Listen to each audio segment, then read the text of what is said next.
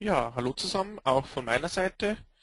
Mein Name ist Michael Windel und ich möchte Ihnen heute im Webinar Werkzeugvermessung ein bisschen was über die Werkzeugvermessung mit den Heidenhain-Messgeräten erklären. Kurz zu meiner Person. Mein Name ist Michael Windel. Ich bin Kursleiter bei der Firma Heidenhain und mache eben auch diese Webinare hier auf der CNC Arena. Wenn Sie zu diesem Webinar Fragen haben, würde ich Sie bitten, das Fragenfenster, das bei Ihnen auf der rechten Seite in diesem Menü erscheint, zu nutzen und hier einfach die Fragen reinzuschreiben. Ich gehe dann am Ende der Präsentation auf diese Fragen ein und beantworte diese dann. So, dann beginnen wir jetzt mit unserem Webinar. Werkzeugvermessung mit Heidenhain-Messsystemen ist verfügbar auf unseren verschiedenen TNC-Steuerungen, also angefangen mit der ITNC 530 und mit den ganzen NC-Kernsteuerungen der 320, der 620, genauso auch wie bei der TNC 640. Wir unterscheiden bei diesen Tastsystemen zwischen zwei unterschiedlichen Arten von Tastsystemen. Das sind einmal die schaltenden Tastsysteme. Das ist einmal das Tastsystem TT140 mit Kabel, dann das TT160, das ist quasi der Nachfolger vom TT140, der ist ein bisschen schlanker geworden, und den TT449, der ist auch mit Infrarotübertragung also wo ich kein Kabel benötige, wo ich einfach irgendwo frei im Maschinenraum positionieren kann. Unsere Tischtastsysteme gibt es nicht nur mit runden Antastelementen hier oben. Das gibt es einmal ein großes Antastelement mit 40 mm Durchmesser, ein kleineres Antastelement mit 25 mm Durchmesser und ein viereckiges Antastelement, das wir zum Beispiel für Drehwerkzeuge verwenden können. Und dann gibt es jetzt sehr neu das Tastsystem TT460.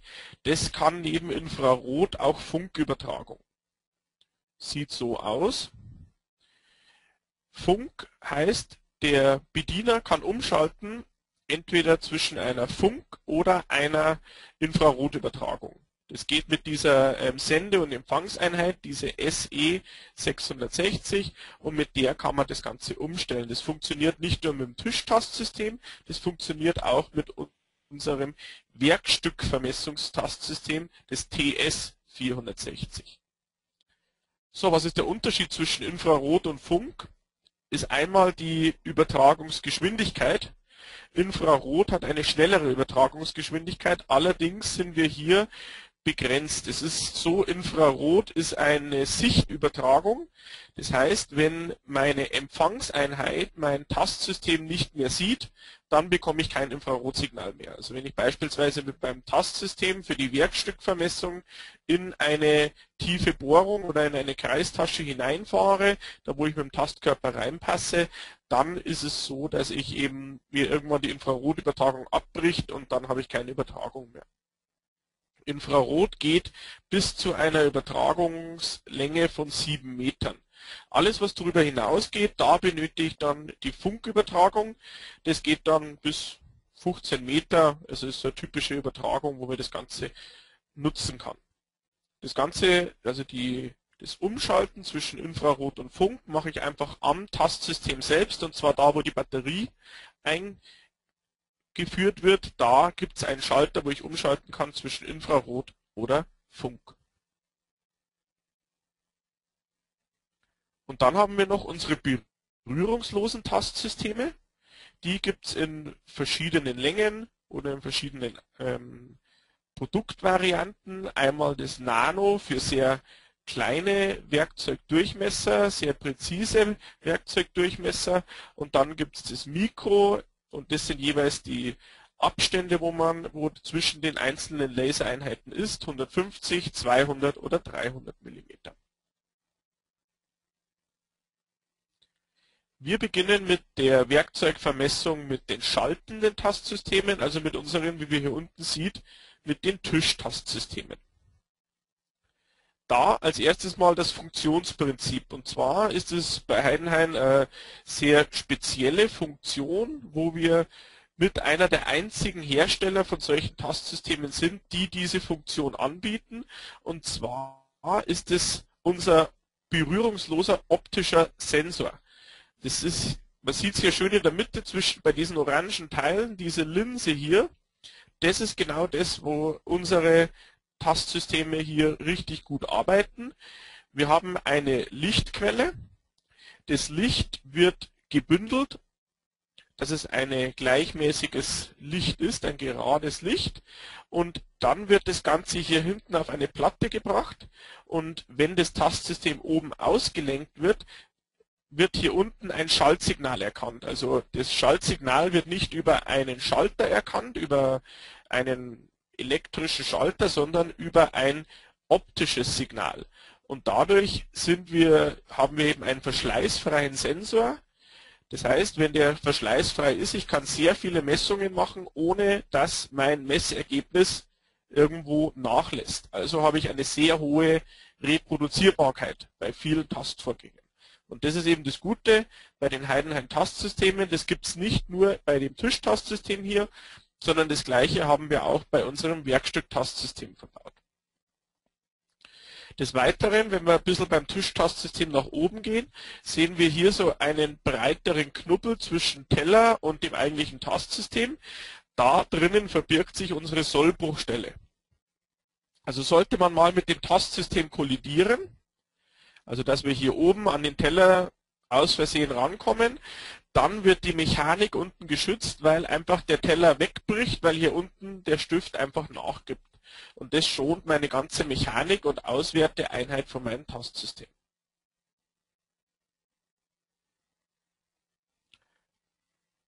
Die Messzyklen, was wir zur Verfügung haben, hier unterscheiden wir zwischen einem neuen Format und einem alten Format. Und das neue Format geht immer mit 4.8 los, also das sind die ganzen Zyklen 480, 81, 82, 83 und 84. Das alte Format ist 30, 31, 32, 33. Das alte Format haben wir noch als Kompatibilitätsgründen dabei bei der Steuerung. Das alte Format, also vom Funktionsumfang, sind beide gleich. Der einzige Unterschied das neue Format, also die Zyklen 480 bis 84, gibt es auch in DIN ISO, also wenn ich mit G-Code programmiere. Und der weitere Unterschied, die, ähm, wenn ich bei den neuen Zyklen Prüfen eingebe, dann wird automatisch der Status im Q199 abgespeichert. Da konnte ich bei den Zyklen im alten Format immer noch einen Q-Parameter selber wählen, wo das Messergebnis reingeschrieben wird. Aber ansonsten von der ganzen, vom ganzen Ablauf her ist alles gleich. Wir haben hier verschiedene Zyklen. Es gibt einmal den Zyklus 480 zum Kalibrieren. Und es gibt auch noch den Zyklus 484 zum Kalibrieren. Der Zyklus 484 ist später dazugekommen, als wir auch Infrarot-Tastsysteme mit angeboten haben. Denn dann hat, musste man nicht mehr die Position des Tischtastsystems in die Maschinenparameter eingeben, sondern konnte den einfach kalibrieren und das Werkzeug manuell über den Tischtaster vorpositionieren. Dann habe ich den Zyklus 481 oder Zyklus 31 fürs Länge vermessen meiner Werkzeuge, 482 für die Radiusmessung und 483 für die Kombination aus Längen- und Radiusmessung. Also da kann ich beides damit machen. Bevor ich ein Werkzeug mit dem Tischtastsystem vermessen kann, muss ich ein paar Sachen in der Werkzeugtabelle hinterlegen. Und zwar ist es einmal die ungefähre Länge und der ungefähre Radius. Also ich kann mit dem Tischtastsystem kein Werkzeug vermessen, wo die Länge und Radius total unbekannt sind.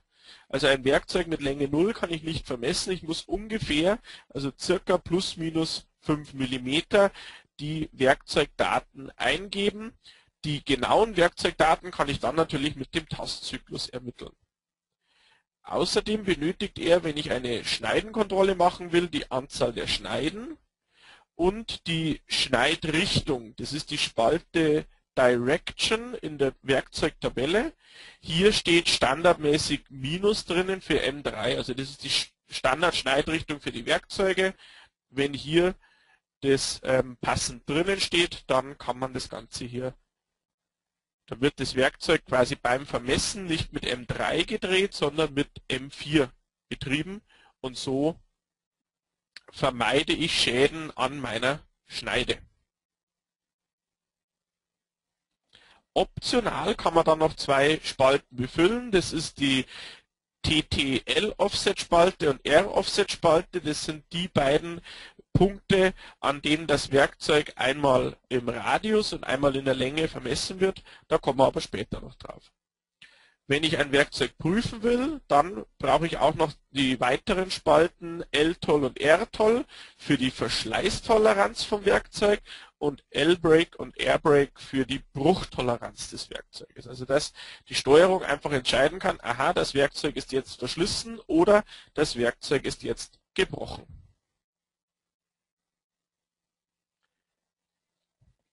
Als Beispiel für diese verschiedenen Werkzeugdaten habe ich einfach mal ein paar Eingabebeispiele hinterlegt. Und zwar das erste Eingabebeispiel ist der Bohrer. Beim Bohrer, den, da wollen wir einfach nur die Länge wissen vom Bohrer. Der Radius ist mir egal, ich will einfach nur die Länge wissen. Also definiere ich in der Werkzeugtabelle, ich brauche keinen Versatz, da ich einfach mittig auf mein Tischtastsystem nach unten fahren möchte und die Bohrerspitze messen möchte. Also muss ich bei TTR-Offset nichts eingeben. Hier kann ich einfach die 0 drin stehen lassen. Bei L-Offset, den L-Offset brauche ich für die Radiusvermessung. Da brauche ich auch nichts eintragen, weil ich beim Bohrer keine Radiusvermessung machen muss. Also kann ich einfach programmieren, den TTR-Offset 0 und den TTL-Offset auch 0.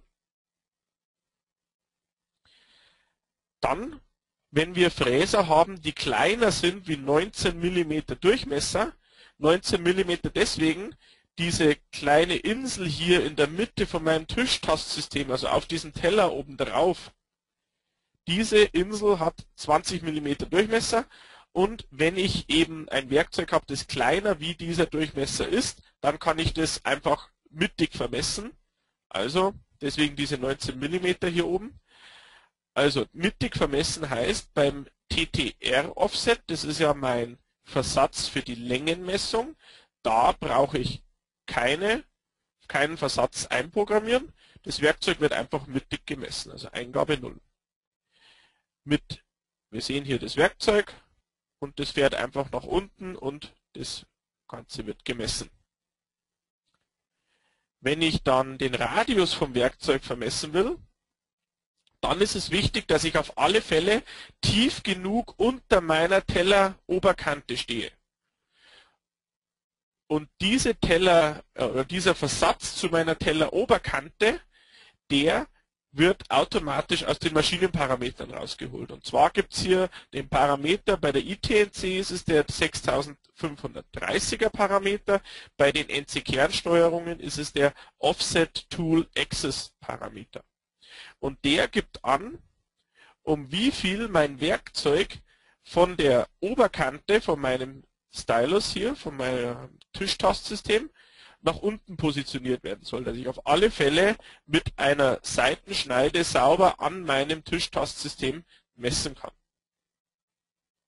Wenn ich jetzt hier noch zusätzlich etwas haben will, dann könnte ich in meinem TTL Offset einen Versatz mit eingeben, damit er noch tiefer fahren würde.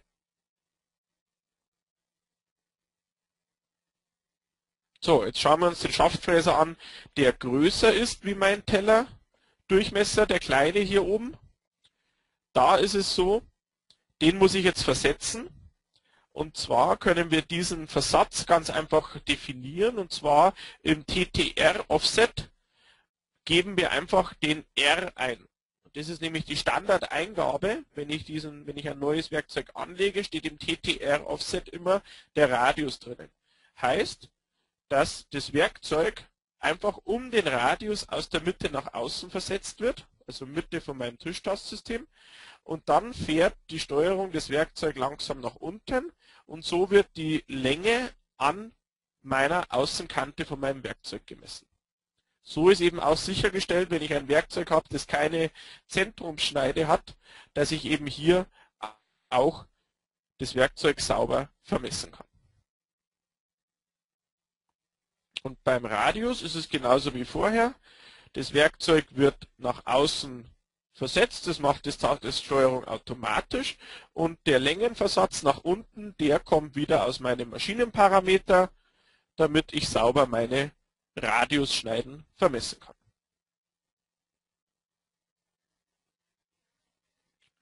So, und dann haben wir noch ein Eingabebeispiel für einen Radiusfräser, also für einen Kugelfräser. Da möchte ich die Länge auch wieder am Kugel, am Kugel Südpol messen. Das heißt, ich fahre einfach wie ein Bohrer nach unten ohne einen TTR-Offset.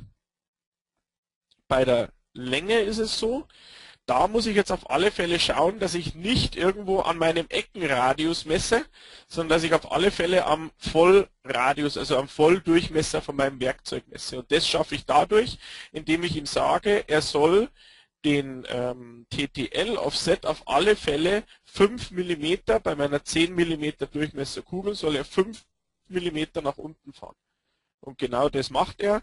Er positioniert das Werkzeug dann 5 mm unter meine Styluskante und so bin ich immer sicher, dass ich den sauberen Durchmesser hier oder den sauberen Radius von meinem Werkzeug erfasse. Also über diesen TTL-Offset und R-Offset definiere ich einfach die Position, an dem mein Werkzeug gemessen wird. Also normalerweise ist es ausreichend, wenn ich, je nachdem was ich für ein Werkzeug habe, den R-Offset auf 0 schreibe oder ich kann auch standardmäßig immer auf R stehen lassen, dann werden halt auch kleinere Werkzeuge um den Radius nach außen versetzt und dann halt mit der Außenschneide mittig auf dem Tischtastsystem gemessen. Und beim L-Offset kann ich eigentlich auch bei allen Werkzeugen immer die 0 drinnen stehen lassen. Außer wenn ich halt so einen ähm, Kugelfräser habe, den ich an einer bestimmten Position vermessen will, dann muss ich hier einen anderen Wert eintragen.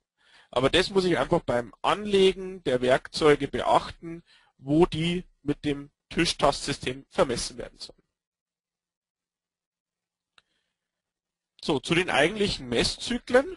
Diese Messzyklen finden wir auf unserer Steuerung unter Touch Probe. Und da gibt es auf der ersten Softkey-Ebene gleich den Softkey für die Tischtastsysteme. Und da gibt es dann zwei Softkey-Ebenen. Das ist einmal die Softkey-Ebene mit den neuen Zyklen, also 480 bis 484. Und dann gibt es die zweite Ebene mit den alten Zyklen, also Zyklus 30 bis Zyklus 31. Das erste ist das Kalibrieren, der Zyklus 480. Wenn ich so ein Werkzeugvermessungssystem habe, ist es immer ganz wichtig, dass es gut kalibriert ist, damit ich das, damit meine Werkzeuge dann auch zu meinem Tastsystem zusammenpassen, also wenn ich meine Werkstücke vermesse, dass das alles eben zusammenpasst. So, da gibt es eben hier unseren ersten Zyklus, das ist der Zyklus 480, den TT kalibrieren. Da ist es so, bei diesem Zyklus muss ich die Mittelpunkte von meinem Tischtastsystem, also die Koordinaten von meinem Tischtastsystem, im Maschinenkoordinatensystem angeben. Und zwar in X, in Y und auch in Z. Wie macht man das? Man geht einfach her, baut das Tischtastsystem auf, sein, auf seiner Maschine auf.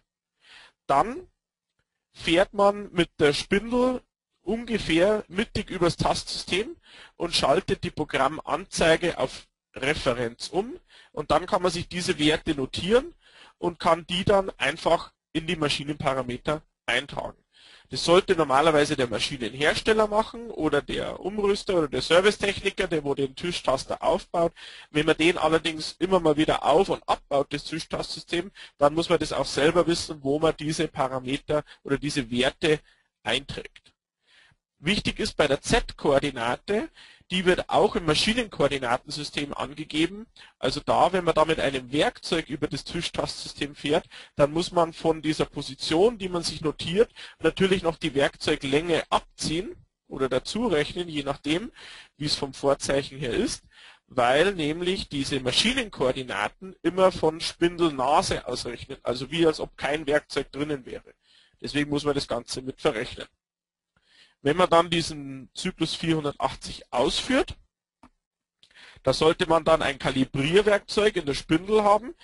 Kalibrierwerkzeug heißt ein zylindrisches Werkzeug und von diesem Werkzeug sollte ich exakt den Radius und die Länge wissen.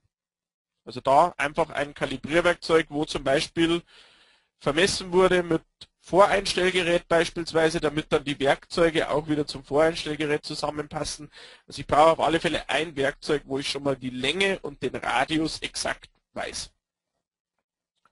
Wenn ich den dann ausführe, fährt er automatisch auf mein Tastsystem drauf und je nachdem, wie es in den Maschinenparametern konfiguriert ist, wird das Tastsystem entweder im Radius mit von vier Punkten aus ähm, kalibriert. Es wird auch der Mittenversatz von dem Spindelwerkzeug gemessen. Also da wird alles mit gemessen und diese Kalibrierdaten werden in der Maschinenkonfiguration gesichert und sind dann hinterlegt und ich kann dann mein Tastsystem ganz normal verwenden. Der Zyklus 484, man sieht schon im Namen IR-TT kalibrieren also Infrarot-Tischtastsystem kalibrieren. Das funktioniert natürlich nicht nur mit unseren Infrarot-Tastsystemen, sondern natürlich auch mit allen kabelgebundenen Tastsystemen. Also im Endeffekt ist ihm gleich, ob da jetzt ein Kabel dran ist oder ob der nur über Infrarot verbunden ist. Der Kalibrierzyklus wird gleich ausgeführt. Hier kann ich jetzt wählen, hier habe ich einen Eingabeparameter und zwar den Q536. Mit dem kann ich auswählen, ob ich vor meiner Kalibrierung einen NC-Stopp haben möchte oder nicht. Das ist deswegen eingeführt worden, damit ich, bevor ich das Tischtastsystem kalibriere, mein Werkzeug manuell auf oder über mein Tischtastsystem vorpositioniere. Das ist nämlich wichtig beim Zyklus 484. Der schaut nicht auf die Maschinenparameter. Dem sind die Maschinenparameter egal, also die Zentrumsposition, wo mein Tischtastsystem steht, sondern der kalibriert das Tastsystem einfach von der Position aus, wo er steht. Also muss ich schauen, dass ich, bevor ich den Zyklus 484 aufrufe, mein Werkzeug, mein Kalibrierwerkzeug mittig übers Tastsystem positioniert habe.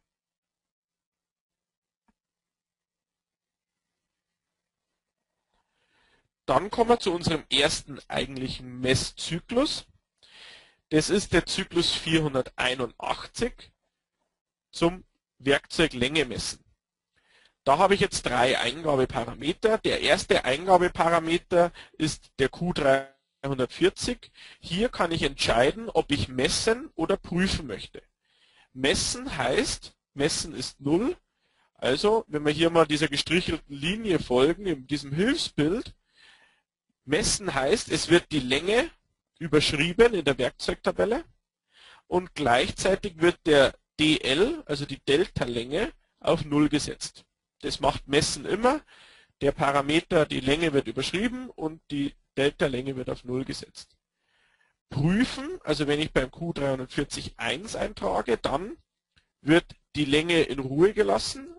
Allerdings wird die neue Länge zur alten Länge verrechnet und die Differenz zwischen diesen beiden Längen wird vorzeichenrichtig in die Delta-Länge eingetragen. Und wenn ich es eingetragen habe, werden die Toleranzen L-Toll, also Toleranz in der Länge, oder L-Break, ähm, die Bruchtoleranz in der Länge, überprüft. Und es wird automatisch der Q199 befüllt. Der Q199 ist mein Parameter, in dem ich auslesen kann, ob das Werkzeug in Ordnung ist. Dann ist der Q199 gleich 0. Oder ob das Werkzeug verschlissen ist. Verschlissen ist das Werkzeug dann, wenn die L-Toll überschritten ist, also die Verschleißtoleranz überschritten wurde. Oder ob das Werkzeug gebrochen ist, dann ist der Q199 gleich 2. Dann wurde die Bruchtoleranz überschritten. Also er misst einfach das Werkzeug und schaut dann den Versatz von meinem Werkzeug an und vergleicht das mit meinen hinterlegten Toleranzen.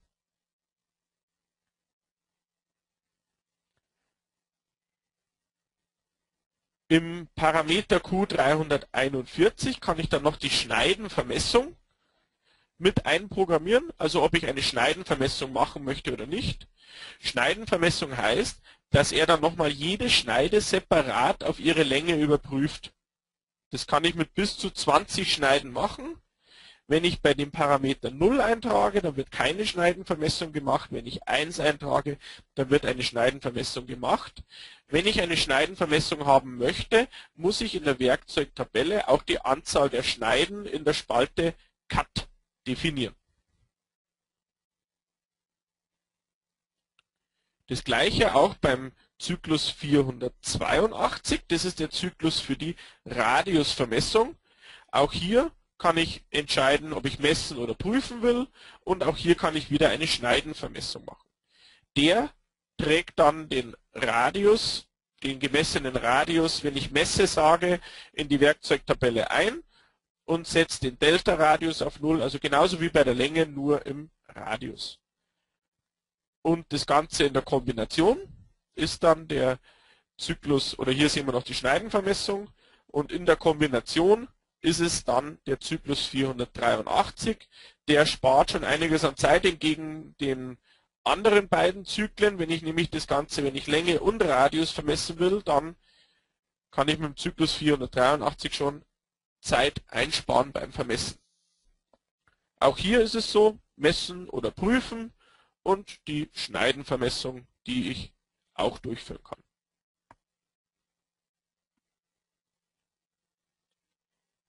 wie programmieren wir jetzt dieses Ganze, wie kann ich diese Tastzyklen in mein NC-Programm mit einbinden.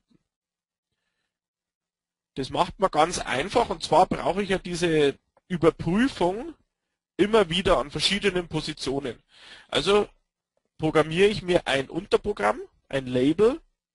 In diesem Label steht meine ganze Überprüfung von meinem Tisch, von meinem Werkzeug mit drinnen schaut so aus. Ich habe jetzt hier oben in meinem Programm, ich rufe einen Bohrer auf, dann mache ich eine Bearbeitung und dann möchte ich, dass der Bohrer überprüft wird. Und zwar will ich einfach überprüfen, nicht dass der Bohrer abgebrochen ist und ich dann dadurch meinen später folgenden Gewindebohrer beschädigen würde.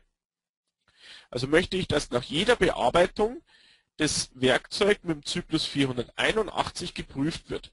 Den Zyklus 481 Werkzeuglänge kann ich für ähm, Bohrer, Gewindebohrer, NC-Anbohrer, alles mögliche, also die zentrischen Werkzeuge, wo ich nur die Länge brauche, oder auch Fräser mit einem Durchmesser unter 10 mm verwenden. Denn unter 10 mm ist es eher ähm, wahrscheinlicher, dass der, dass der Fräser komplett abbricht, wie dass eine einzelne Schneide ausbricht.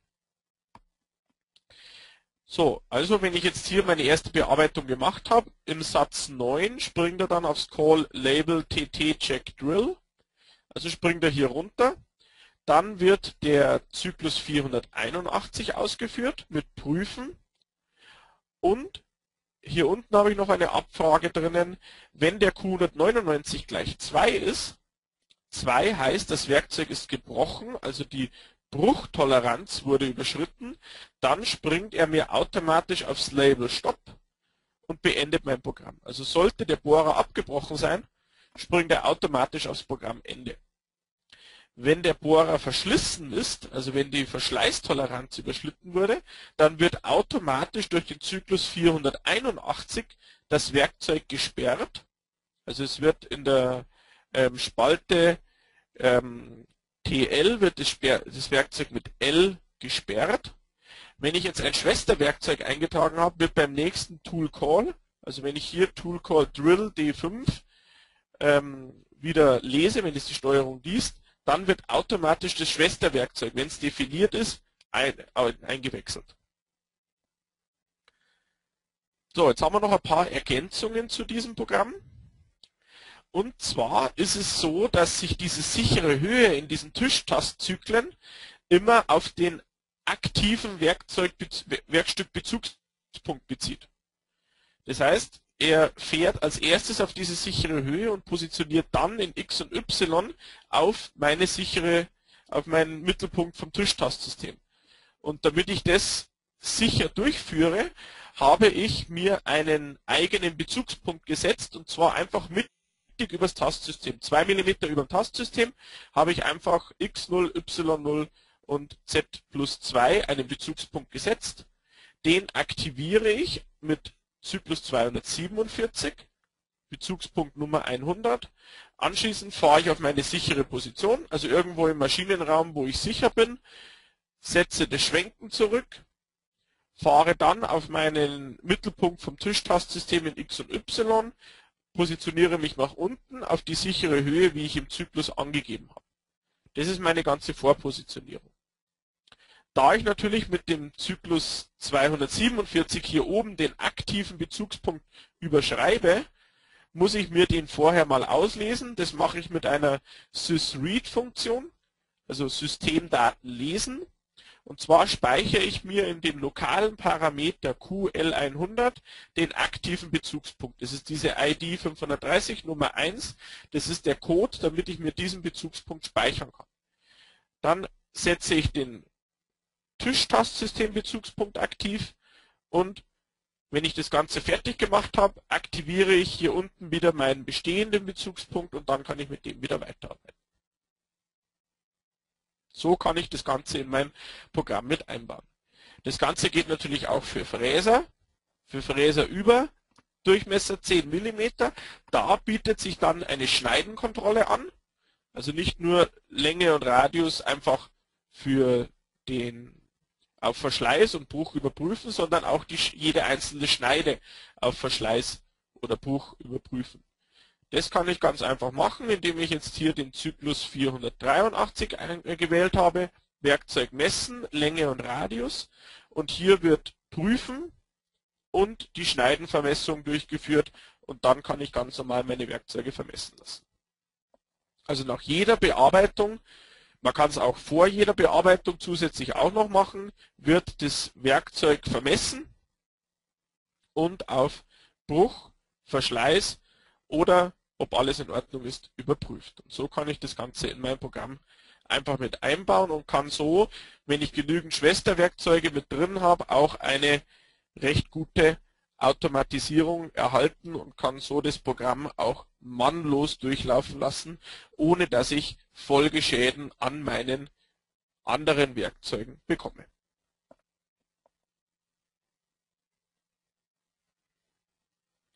So, neben den schaltenden Tastsystemen, also neben unseren Tischtastsystemen, haben wir bei Heidenhain auch berührungslose Messsysteme, sogenannte Lasermesssysteme im Produktprogramm. Die haben wir ja vorher schon gesehen. Und wie werden diese jetzt programmiert? Was kann ich erstmal machen und was habe ich für Vorteile von meinen ähm, Lasermesssystemen? Ich kann viel kleinere Werkzeuge messen als mit den Tischtastsystemen, weil ich ja doch beim Tischtastsystem eine sehr hohe ähm, Messkraft habe. Also wenn ich da ein Z messe, das sind schon einige ähm, Kräfte, die da aufs Werkzeug einwirken. Also mit zu kleinen Durchmessern kann ich das nicht machen, da ich ansonsten beim Messen wahrscheinlich schon das Werkzeug abbrechen würde. Außerdem vermeide ich die Beschädigungsgefahr von empfindlichen Werkzeugen. Ein weiterer Vorteil vom Lasermesssystem, ich vermesse meine Werkzeuge mit der Nenndrehzahl. Also so wie ich bearbeite, zum Beispiel mit einer Spindeldrehzahl von 16.000 Umdrehungen, mit dieser Umdrehung vermesse ich auch meine Werkzeuge. Und so habe ich die ganzen Umgebungseinflüsse wie bei der Bearbeitung gleichzeitig auch bei meinem Vermessen mit drinnen. Außerdem kann ich auch Sonderwerkzeuge vermessen, also mit Runterschneidengeometrie, kann ich auch die ganzen Eckenradien sauber vermessen und habe eben bei den Zyklen mehr Möglichkeiten, wie ich meine Werkzeuge vermessen kann.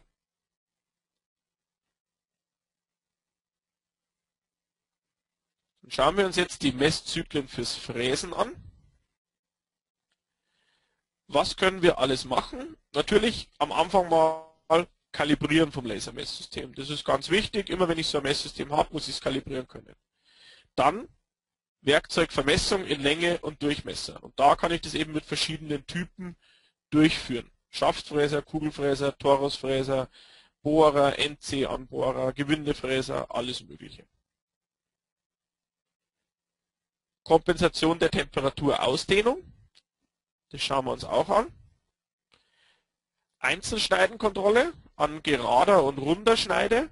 Also ich kann Kugelfräser, Torusfräser genauso auch wie ein Schaftfräser die Schneiden kontrollieren und kann Werkzeugbruchkontrolle machen. Also ob das Werkzeug komplett abgebrochen ist. Das ist eben wieder der Unterschied. Durchmesser 10, alles was kleiner ist, sollte man auf Bruch kontrollieren, alles was größer ist, sollte man auf Einzelschneiden ähm, Kontrolle kontrollieren, damit ob eben jede Schneide noch vorhanden ist. Für dieses Lasermesssystem gibt es von Heidenhain keine Standardzyklen, die liefert der jeweilige Hersteller vom Lasermesssystem mit. Die Lasermesssysteme von Heidenhain kommen von der Firma Blum und hier werden quasi auch die Messzyklen mitgeliefert. Das heißt, wenn Sie hier ein äh, Lasermesssystem nachrüsten, dann bekommen Sie da einen USB-Stick mit dazu und da sind diese ganzen Messzyklen drauf und die können dann auf der Steuerung von dem Servicemonteur, der das Ganze anbaut, installiert werden und dann hat man die zur Verfügung. Wenn man jetzt das von einem anderen Hersteller nimmt, dann hat man eben da die passenden Messzyklen mit dabei. Hier gibt es eben auch den Kalibrierzyklus, den 581, also man sieht schon, die gehen mit 5 los und dann habe ich eben die Temperaturkompensation, die zentrische Werkzeuglängenmessung, also für Bohrer, NC-Anbohrer oder Gewindebohrer. Dann die exzentrische Werkzeuglängen- und Radiusmessung, wo ich eben mein Werkzeug an einem definierten Punkt in der Länge und im Radius vermessen kann. Dann habe ich den Einzelschneidenkontrolle für meine Schaftfräser beispielsweise. Dann habe ich meine Werkzeugbruchkontrolle, den Zyklus 586. Und dann habe ich noch zwei ähm, Zyklen, einmal einen Prüfzyklus für Werkzeuge mit gerundeter Schneide, also Torusfräser oder Kugelfräser und einen Messzyklus für Torusfräser oder Kugelfräser.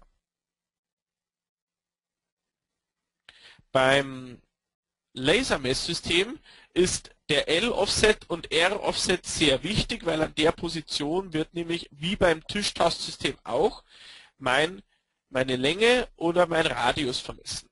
Und zwar ist es genau umgekehrt, wie der Name es sagt. Beim L-Offset wird der Radius gemessen und beim R-Offset wird die Länge gemessen. Und hier haben wir diese Formel, heißt der ähm, eventuell vorhandene Eckenradius vom Fräser plus 0,5 mm ergibt den L-Offset und der Werkzeugradius plus dem, oh, da müssen wir andersrum rechnen, dem Werkzeugradius minus dem Eckenradius minus 0,5 ergibt meinen R-Offset. Also da müssen wir hier diese Formel mit Minus, nicht mit Plus. So, beim NC-Anbohrer oder Bohrer, hier will ich ja mittig die Länge messen. Also habe ich hier L-Offset 0 und R-Offset 0. Also beide einfach auf 0, dann wird das Werkzeug mittig ins Lasermesssystem reingefahren und anschließend vermessen. Wenn ich den NC-Anbohrer außermittig vermessen will, dann habe ich jetzt hier 10 mm außerhalb. Also der L-Offset bleibt 0, weil ich messe ja den Radius nicht beim NC-Anbohrer, sondern nur die Länge.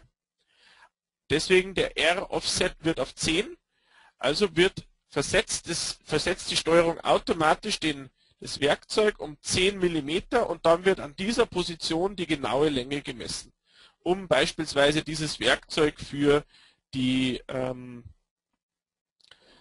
fürs Entgraten beispielsweise zu verwenden.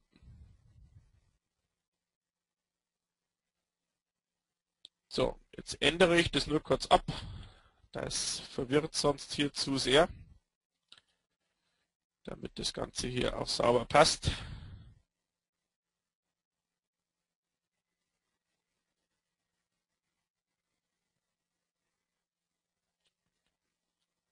So, jetzt steht es richtig drinnen, der R-Offset ist der Werkzeugradius minus dem Eckenradius minus 0,5. Das sieht jetzt so aus, wir haben jetzt hier so einen Schaftfräser mit Durchmesser 20. Warum hat man jetzt dieses 0,5 hier mit drinnen? Und zwar ist es beim Lasermesssystem wichtig, dass der Laserstrahl sauber unterbrochen wird. Wenn ich jetzt meinen Schaftfräser exakt hier unten an dieser Kante, also an der untersten Kante vom Schaftfräser, wenn ich da meine Länge messen würde, dann hätte ich das Problem, dass ich hier so ein diffuses Licht bekomme, also dass der Laserstrahl nicht sauber unterbrochen wird. Und deswegen geht man einfach her und geht den Eckenradius und 0,5 mm nach oben. Einfach um sauber an meinem Lasermess, an meinem ähm, Werkzeug in der, ähm, in der Werkzeugschneide zu stehen, damit ich hier einen sauberen ähm, Unterbrechung von meinem Laserstrahl bekomme.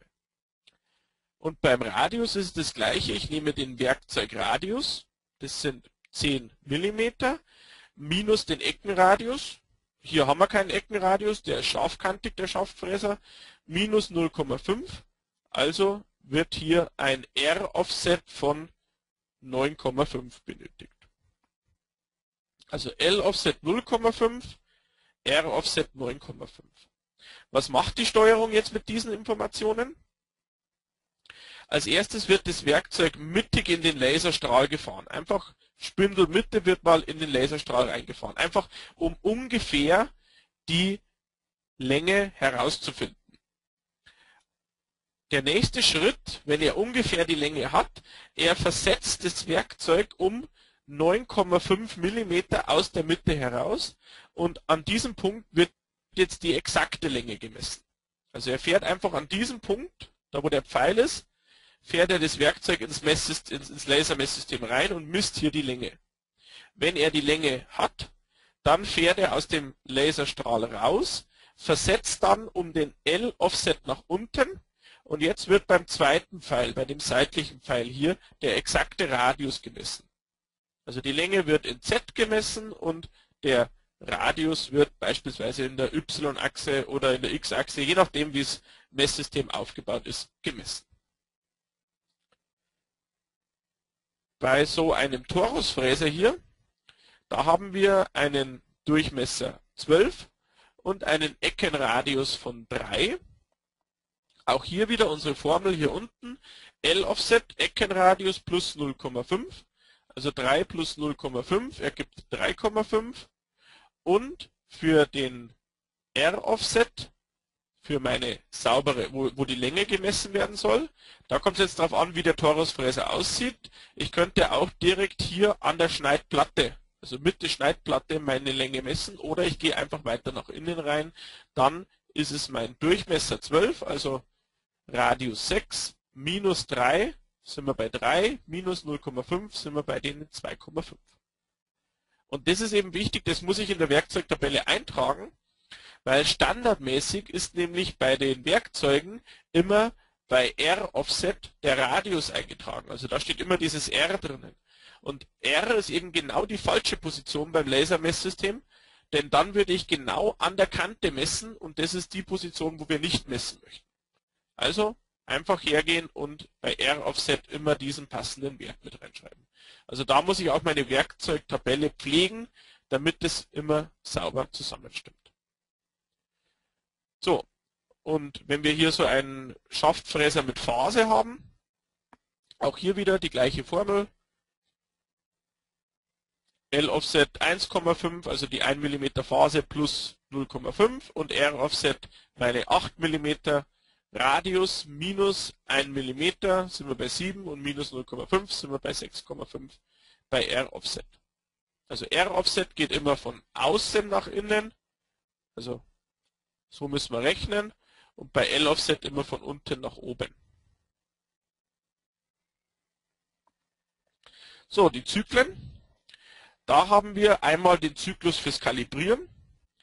Beim Kalibrieren ist es so, ähm, da bekommt man immer ein Kalibrierwerkzeug mit dazu, mit dem man dann das, das ähm, Messsystem, das Lasermesssystem kalibrieren kann. Das ist da schon fest eingespannt. Also das ist nicht so, dass man das dann selber noch in der Spannzange einspannen muss, sondern das ist komplett eingespannt und Länge und Radius und Delta-Länge sind eingelasert in, aufs Werkzeug. Also die kann man dann direkt eins zu eins übernehmen und kann dann das Lasermesssystem kalibrieren. Setzt natürlich immer voraus, dass die ganze Maschine warm ist, also dass alles warm eingefahren ist, dass das Laser, äh, dass das ähm, Referenzwerkzeug, das Prüfwerkzeug ähm, sauber ist, fusselfrei ist und dann kann man das ähm, Lasermesssystem kalibrieren. Kalibriert, beim Kalibrieren kann ich auswählen zwischen Messen, Prüfen und Kontrolle. Messen, bei Messen werden quasi die Kalibrierwerte eingetragen. Bei Prüfen, also wenn ich den Q350 auf 1 stelle, wird, werden die Messwerte auch eingetragen und es wird die Toleranz überwacht. Also ob zur ersten Messung, in wie viel, ob ich da noch in einer Toleranz von zum Beispiel, hier sind es 0,02 mm in der Länge und im Radius bin. Und wenn ich 2 sage, dann ist Kontrolle. Das heißt, dann werden nur die Werte überprüft, ob sie in einer Toleranz von diesen 200 mit drinnen sind. Zyklus Temperaturkompensation. Bei der Temperaturkompensation, da ist es so, da kann ich schauen, um wie viel ist, mein, äh, ist meine Maschine wärmer geworden, also um wie viel ist mein Lasermesssystem gewandert während der letzten Bearbeitung. Und zwar mache ich da als erstes mache ich eine Initialmessung, also meine Erstmessung. Also mit Q350 gleich 0 wird die erste Messung durchgeführt. Wenn ich dann meine erste Bearbeitung durchgeführt habe, dann wechsle ich wieder mein Referenzwerkzeug ein und gehe dann entweder mit Prüfen oder Kontrolle in meine Temperaturkompensation. Prüfen heißt, er schaut wieder, ob meine Werte in der Toleranz sind, also ob meine neuen Werte in der Toleranz sind zu meinen alten gemessenen Werten und er befüllt außerdem die Temperaturkompensation Verschiebung. Also in der Länge und im Radius trägt er mir Werte ein, um wie viel sich meine Maschine verändert hat.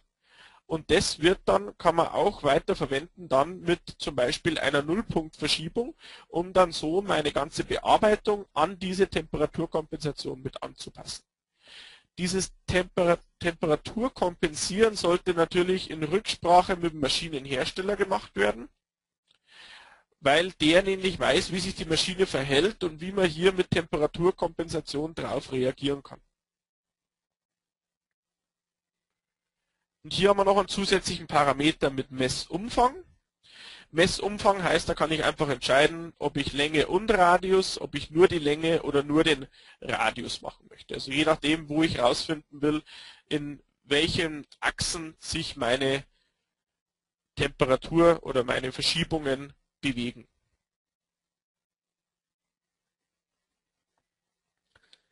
So, bei allen Zyklen haben wir jetzt immer diesen Q350. Jetzt bei den ganzen Messzyklen haben wir immer den Zyklus, äh, den Parameter 350 mit drinnen.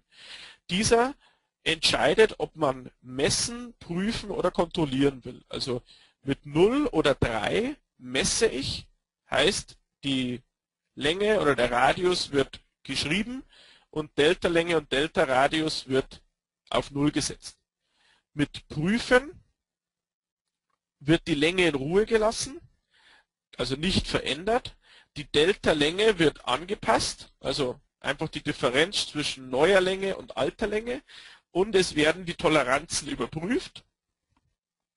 Wenn ich über die Toleranz drüber komme, wird das Werkzeug automatisch gesperrt. Bei Kontrolle da wird nur kontrolliert, also es wird nur geschaut, ist die alte Länge passend zur neuen Länge. Es wird keine Delta-Länge eingetragen, es wird nur die Toleranz überwacht. Wenn diese Toleranz überschritten wurde, wird das Werkzeug gesperrt. Und dann kann ich noch über das Vorzeichen entscheiden, Plus oder Minus, wie gemessen werden soll.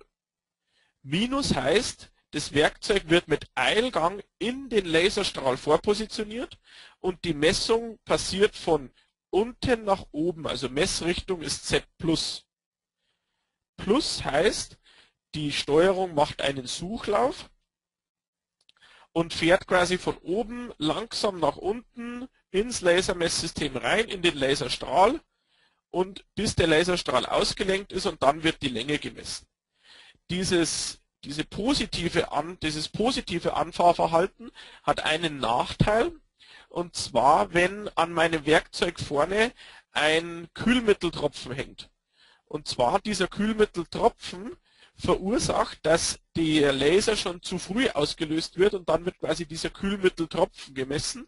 Das wird durch das Minus wird das Ganze vermieden, indem ich hier einfach durch dieses Positionierverhalten mit Kühlmittelunterdrückung arbeiten kann. Wo ich aufpassen muss, bei minus 3, also messen mit direkter Positionierung in den Laserstrahl, hier muss die Länge schon ungefähr bekannt sein.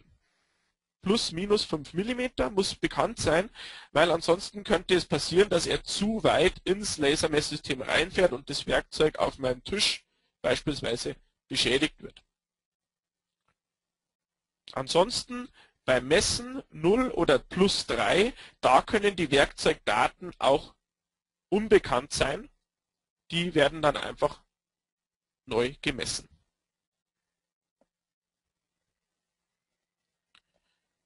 So, der erste Messzyklus ist der Zyklus 583, Werkzeuglänge. Über den Q350 entscheide ich, was ich machen will, also messen, kontrollieren oder prüfen.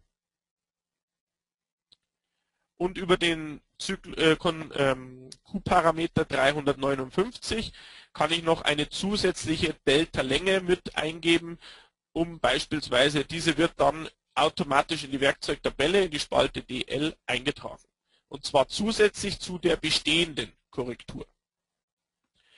Wenn ich hier sage prüfe, dann wird einfach der Q199 befüllt mit 0, 1 oder 2. Also Werkzeug in Ordnung wäre 0, Werkzeug verschlissen wäre 1 und Werkzeug gebrochen wäre 2. Das macht die Werkzeuglänge. Die misst auch nur die Werkzeuglänge und zwar zentrisch. Also das Werkzeug wird einfach mittig ins Lasermesssystem gefahren und hier wird die Länge gemessen keine Radiusmessung wird hier gemacht. Dann die, der Zyklus 584. Das ist so der klassische für Schaftfräser oder für alle möglichen Werkzeuge. Hier wird Länge und Radius gemessen, je nachdem, was ich haben möchte. Und zwar hier spielt eine wichtige Rolle der L-Offset und R-Offset. Also den muss ich hier auf alle Fälle befüllen, damit das Werkzeug richtig vermessen wird. Also wie wir es vorher schon gesehen haben, da kann ich das Ganze hier einfach umsetzen. Beim Messumfang, also beim, Zyk beim Parameter 351, kann ich entscheiden, ob ich Länge und Radius miteinander oder nur die Länge oder nur den Radius messen will. Bei der Messposition gebe ich an, ob ich das Werkzeug nur von einer Seite messen möchte, also minus 1, oder ob ich das Werkzeug von ähm, zwei Seiten messen will, minus 2.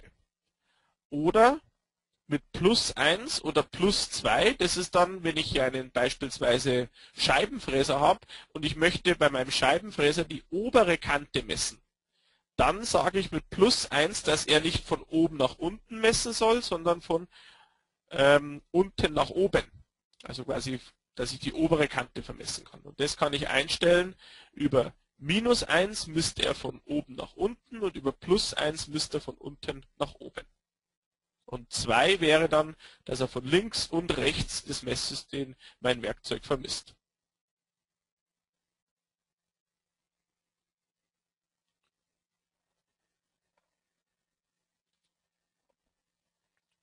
So, dann haben wir den ähm, Zyklus 585. Das ist kein Messzyklus, sondern ein Prüfzyklus. Und zwar ist jetzt der Zyklus für die Schneidenkontrolle. Da kann ich jetzt einfach meine Werkzeugschneide überprüfen. Und zwar die ganze Schneidenlänge, wenn ich das möchte, mit einem Verfahrweg. Wenn ich diesen Verfahrweg definiere, dann wird quasi einfach 15 mm entlang der Schneide hochgefahren und geschaut, ob sie irgendwo ausgebrochen ist. Mit einem gewissen Vorschub. Sobald ich hier unten bei Q365 Anzahl Messpunkte eintrage, wird dieser Verfahrweg inkremental nach oben gefahren. Also, wenn ich jetzt bei Q365 drei Messpunkte eintragen würde, dann würde er drei Messpunkte mit einem Abstand von 15 mm machen. Also da muss ich darauf achten, entweder 0 und ich gebe die Schneidenlänge an oder ich gebe den Verfahrweg, beispielsweise die Steigung eines Gewindefräsers an und kann dann über Anzahl der Messpunkte alle meine Gewindezähne überprüfen. Anzahl der Schneiden. Wenn ich hier 0 eintrage, wird automatisch die Anzahl der Schneiden aus der Werkzeugtabelle übernommen, also aus der Tool.t. Da kann ich allerdings nur maximal 20 eintragen. Also wenn ich über 20 Stück brauche, dann kann ich hier die Anzahl der Schneiden einfach mit eintragen. Wenn ich jetzt ein Werkzeug mit 30 Schneiden habe, dann kann ich hier Anzahl der Schneiden 30 eintragen und dann vermisst er mir auch diese 30 Schneiden. Wenn ich eine Trennscheibe, eine Trennscheibe habe, dann trage ich minus 1 ein. Minus 1 heißt, die Scheibe wird ins Lasermesssystem eingefahren und das Lasermesssystem darf kein Kontakt, also darf kein Signal bekommen. Denn sobald sie ein Signal bekommt, ist die Trennscheibe gebrochen und das ähm, Messsystem bekommt ein diffuses Signal. Deswegen kann man hier dieses Minus 1 eintragen. Also so kann ich auch diesen Werkzeugtypen überprüfen. Dann habe ich die Anfahrstrategie, also wie ich dieses Messsystem anfahren will. Also erst auf sichere Höhe, dann auf meine Strahlmitte vorpositionieren, auf Radiusmitte und dann nach unten fahren oder das Ganze von der sicheren Höhe dreiachsig oder von der aktuellen Position dreiachsig an meinen sicheren Punkten. Also je nachdem, was man hier haben möchte. Der nächste Zyklus ist auch wieder ein Prüfzyklus, der Zyklus 586. Das ist Werkzeugbruchkontrolle. Da wird einfach nur ein Werkzeug in den Laserstrahl gefahren und zwar Länge minus meiner Bruchtoleranz, die ich ihm eingegeben habe, also L-Break. Und dann schaut das ähm, Lasermesssystem einfach, ob, ein, ob, es ein Signal bekommt oder nicht. Wenn es ein Signal bekommt, ist das Werkzeug gebrochen und wird automatisch gesperrt. Wenn es kein Signal bekommt, ist das Werkzeug in Ordnung und ich kann damit weiterarbeiten. Über den Parameter radialen Offset kann ich den Messpunkt von der Mitte nach außen verschieben und zwar wenn ich beispielsweise in der Mitte von meinem Werkzeug eine Kühlmitteldüse habe und deswegen das Werkzeug hier ausgenommen ist oder wenn ich so eine Reibahle habe, die in der Mitte eine ähm, offene ähm, so einen offenen Auslass hat, dann kann ich das Ganze auch außermittig vermessen lassen.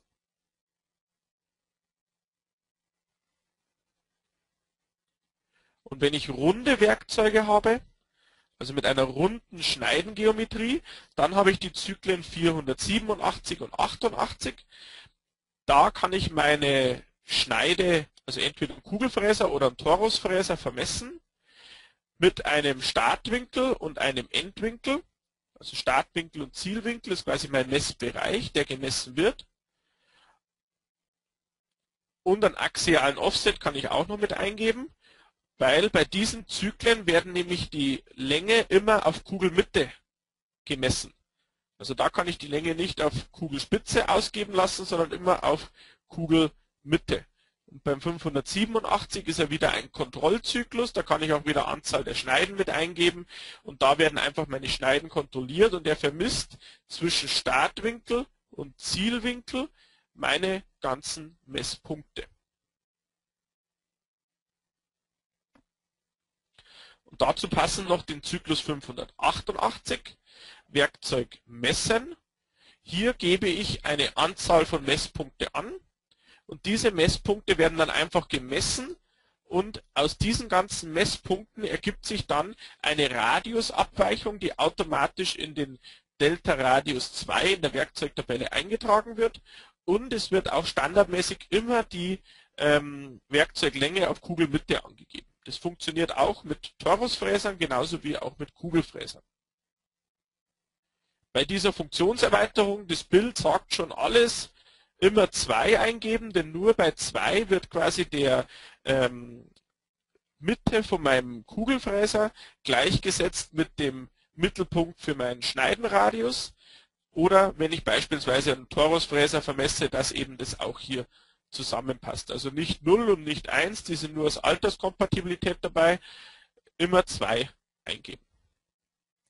Und ganz wichtig, der axiale Offset, hier muss immer der R2, also der Eckenradius drinnen stehen. Denn das Messsystem geht her und fährt einmal mittig das Werkzeug in den Laserstrahl und anschließend wird das Werkzeug um diesen axialen Offset diese Länge verkürzt.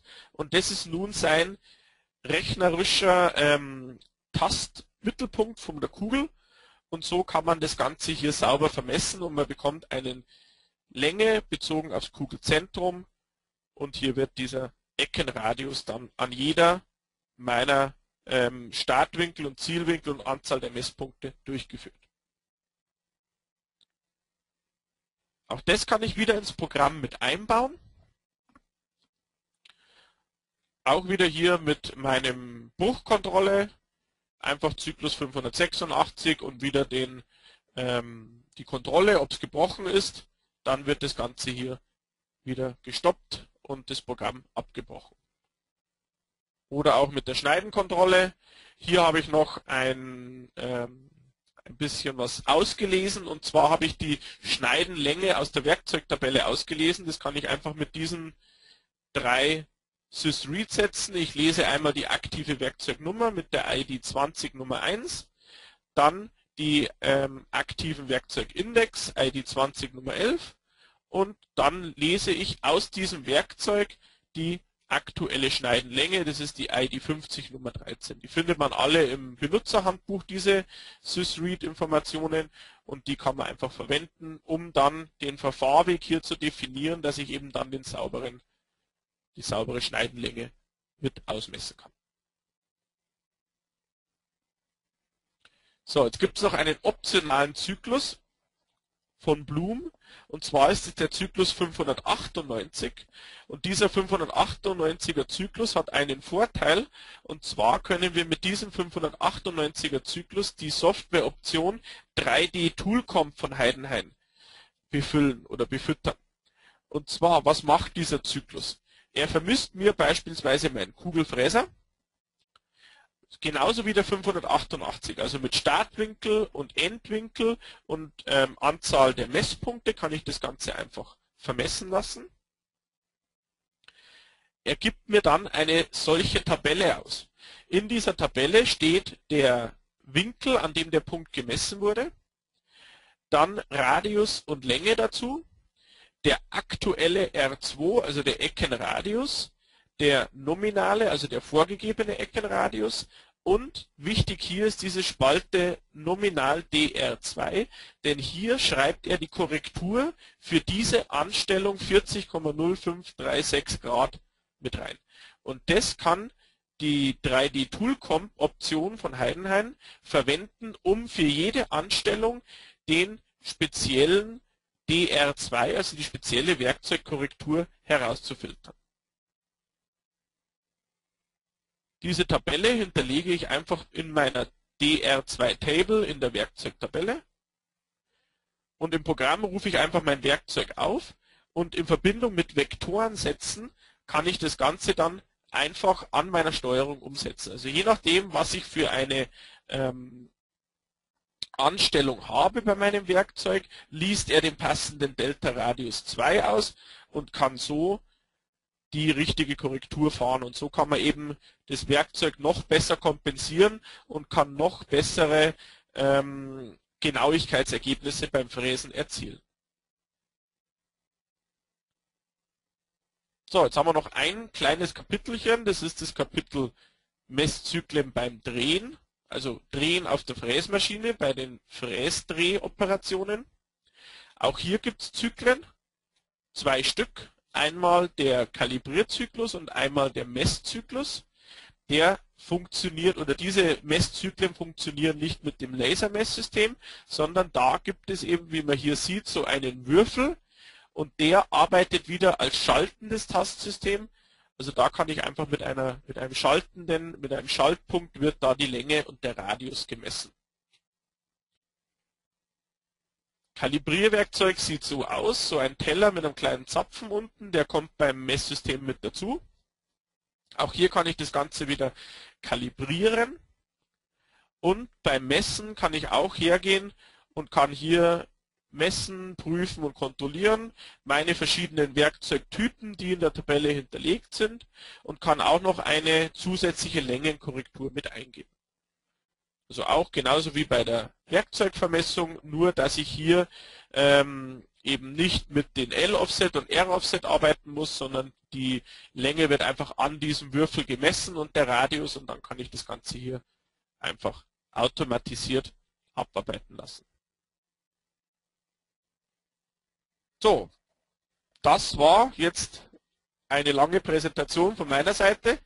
Ich hoffe, ich konnte Sie hier ein bisschen mehr informieren über unsere verschiedenen Werkzeugvermessungssysteme, also über unsere schaltenden und unsere berührungslosen Werkzeugvermessungssysteme. Wenn Sie daran Interesse haben oder jetzt noch Fragen haben, dann würde ich Sie bitten, dieses Fragenfenster hier unten zu nutzen. Wenn Sie Interesse daran haben, so ein Messsystem anzubauen, dann können Sie sich jederzeit auch bei uns melden. Wir geben Ihnen dann die Adressen von unseren qualifizierten Umrüstern, die Ihnen so ein System beispielsweise mit anbauen können. Ist sicherlich eine interessante Möglichkeit, um mannlose Fertigungen zu ähm, ermöglichen oder auch einfach an der Maschine Werkzeuge zu vermessen. So, jetzt schauen wir mal, ob schon ein paar Fragen mit aufgetaucht sind.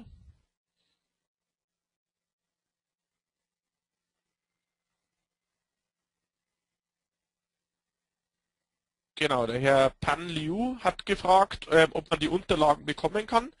Natürlich, ähm, ich werde die Unterlagen wieder auf die CNC Arena ins Forum reinladen. Da kann man sich dann das Ganze nochmal anschauen. Da ist dann auch die Aufzeichnung mit dabei und dann kann man sich das Ganze nochmal anschauen. Und wenn es Fragen gibt, dann entweder telefonisch bei uns an die Helpline wenden oder per Mail an die 3103.heidenheim.de. Das ist eigentlich das Einfachste. Genau. Gibt es sonst noch Fragen? gebe ich Ihnen jetzt einfach mal ein bisschen Zeit, dass Sie da noch ein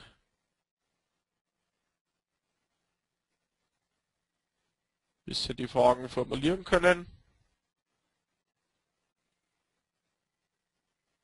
Genau, wenn es darum geht, ähm, wie man so ein ähm, Tischtastsystem installiert, dann ähm, das können wir hier nicht in so einer öffentlichen Plattform machen, dann in Kontakt treten mit Heidenhain. Entweder, dass man das im Rahmen einer Schulung machen kann, ähm, dann kann man sich das Ganze einfach mal zeigen lassen, wie man denn so ein Lasermesssystem oder so ein Tischtastsystem mit aufbaut.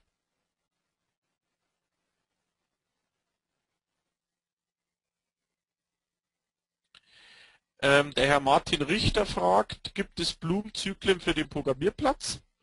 Ähm, standardmäßig sind die Blumenzyklen nicht auf dem Programmierplatz enthalten. Ähm, man kann allerdings bei, ähm, wenn man das Blumen-Messsystem an seiner Maschine angebaut hat, diese Zyklen wie auf der Maschine genauso auch auf dem Programmierplatz installieren. Also das funktioniert einwandfrei. Da kann man einfach durch so eine Installationsroutine durchgehen und dann wird das Ganze automatisch installiert. Der Herr Christoph Schneider fragt, hat die Laserbrücke einen Luftanschluss, um Wassertropfen vor dem Messen abzublasen? Ja, also ich kann beide Messsysteme, das Lasermesssystem als auch das ähm, Tischtastsystem mit einer Düse optional ausstatten. Das ist eben eine Option, die ich mit dazu wählen kann, damit eben vor, meiner, vor meinem Werkzeug messen das Werkzeug einmal abgeblasen wird. Also da kann ich mit beiden Systemen mit so einer Düse arbeiten.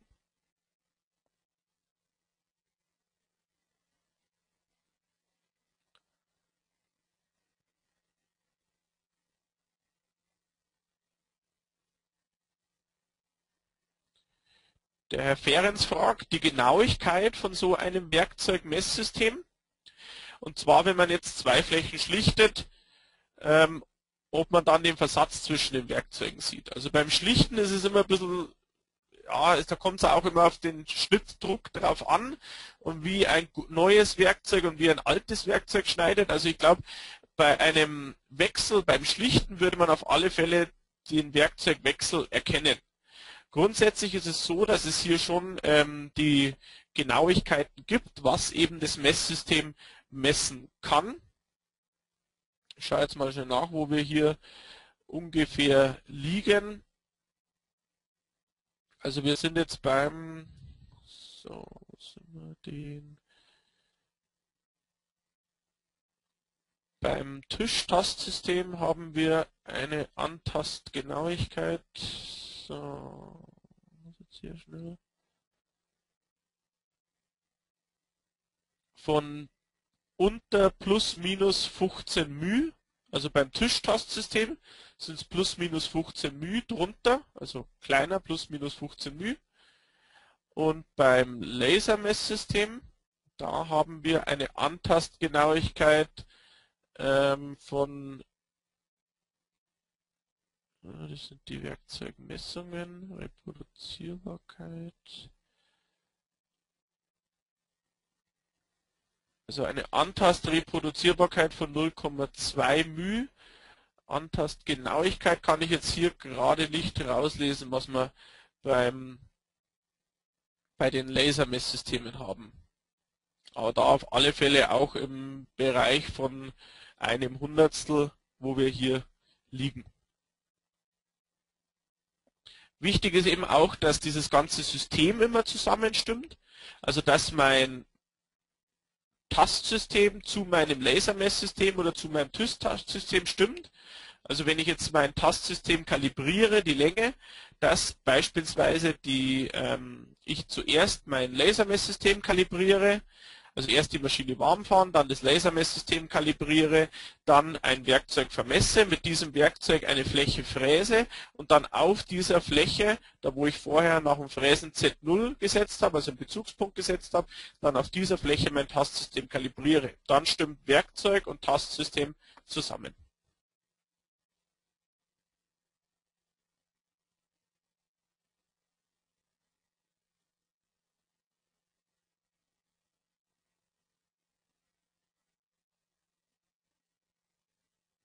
So, gibt es noch weitere Fragen? Ich warte jetzt noch ein bisschen. Wenn später Fragen aufkommen, dann kann man auch jederzeit noch ins Forum mit reinschreiben.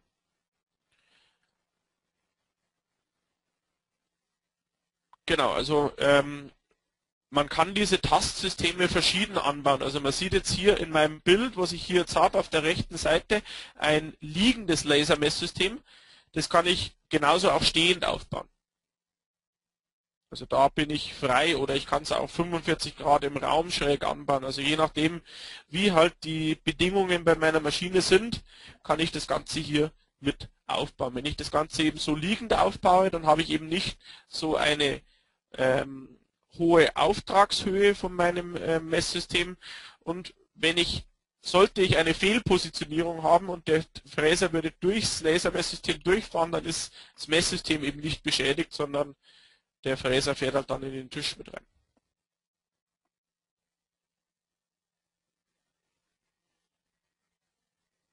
Genau, die schwarzen Kabel sind die Luftdüsen, dieses ähm, Lasermesssystem, da wird er die Schmutzblende mit ähm, Sperrluft beauf, ähm, beaufschlagt. Das heißt, sobald sich dieses Messsystem, sobald sich die Blende öffnet, wird mit einem starken Luftstoß mal das Ganze gereinigt. Und da gibt es eben auch dann eine passende ähm, Lufteinheit dazu. Das ist die ähm, DA300TL, das ist die Druckluftanlage, die ich damit dazu brauche, damit das Ganze auch sauber gewartet wird, die Luft, damit ich hier nicht zu viel Öl mit reinbekomme.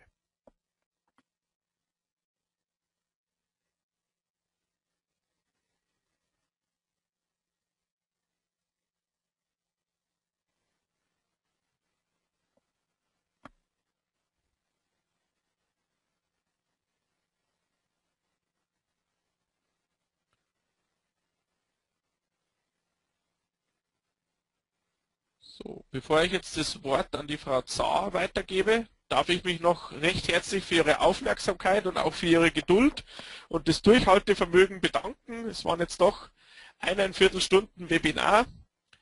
Ich würde mich freuen, wenn wir uns fürs nächste Webinar wiedersehen.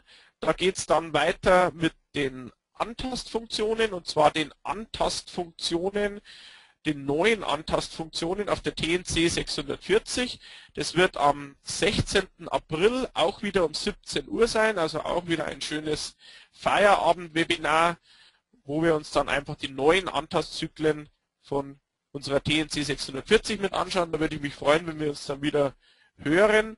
Und natürlich freue ich mich auch immer, wenn wir uns persönlich sehen. Also wenn Sie mal auf eine Messe kommen und da den Heidenhain-Stand sehen, einfach mal fragen. Ich freue mich immer, wenn ich die Webinarteilnehmer auch mal persönlich treffen kann und uns, wir uns dann einfach noch mal ein bisschen über die Themen unterhalten können. Ich bedanke mich jetzt schon mal für Ihre Aufmerksamkeit und wünsche Ihnen jetzt noch einen schönen Abend. Und jetzt darf ich das Wort an die Frau Zahr weitergeben. Die darf den Abschluss machen.